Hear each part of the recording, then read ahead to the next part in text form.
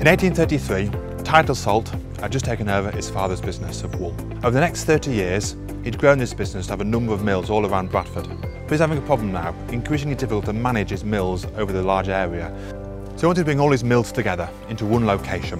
And in order to do that, he had to bring in the civil engineers because he wanted to build the largest mill that had ever been built before.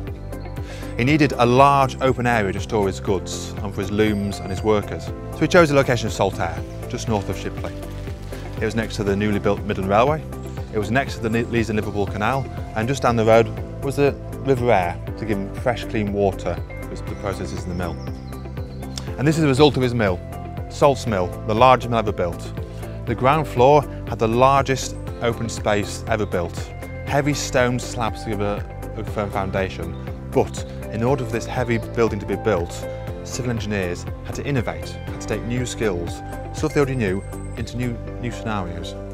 So the roof, you can see above the windows, all these curved arches. And that was new in a building, enabled a clear span without pillars and without blocking the area underneath. Titus Salt had quite a, a, a, liking of Italian architecture, so he instructed the engineers and architects to design his mill in an Italian style. So looking at all the spires, the towers and the chimneys, a lot of effort went into the detailing of all these extra items. The Leeds and Liverpool Canal was great being so close. It was a broad canal. Civil engineers had ensured this canal was wide, knowing that boats would get bigger. One of the greatest success of this Leeds and Liverpool Canal was that it was able to compete with the railways. A horse can pull one tonne on land. And on water, such as Leeds and Liverpool Canal, the same horse could pull five tonnes at a greater speed, which enabled mill to move a lot more materials quicker and cheaper. The success, therefore, meant the mill could be successful. At its peak, it was making over 18 miles of alpaca yarn every day, employing 3,000 workers with 1,200 looms.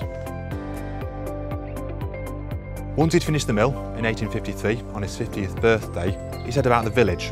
Now in 1848, a cholera outbreak had killed 48,000 people. He built Saltaire Village, every house had clean water, sanitation and gas, unheard of at the time for his workers. Only the rich and wealthy could afford these luxuries. As the mill continued to expand, so did the village. He built churches, schools, public bath, gymnasiums, and his workers were happier and more efficient. Sir Titus Salt died in the 1870s, and his mill continued to run as a trust with the same principles of looking after the workers.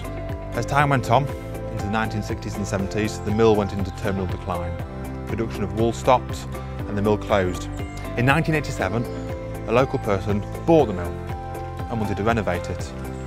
For that, he had to get civil engineers involved to look up which parts of the building were safe.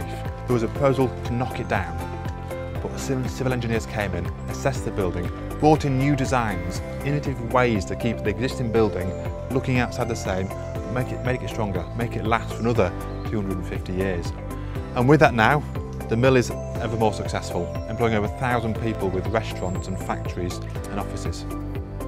As a civil engineer, it's great to look at things like this, having seen them on the drawing board, knowing that the work that we do and the work that I do as a civil engineer is enable buildings and canals and rivers and everything that we see to continue.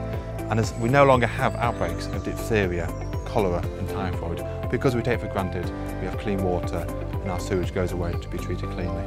And that's why I love being a civil engineer.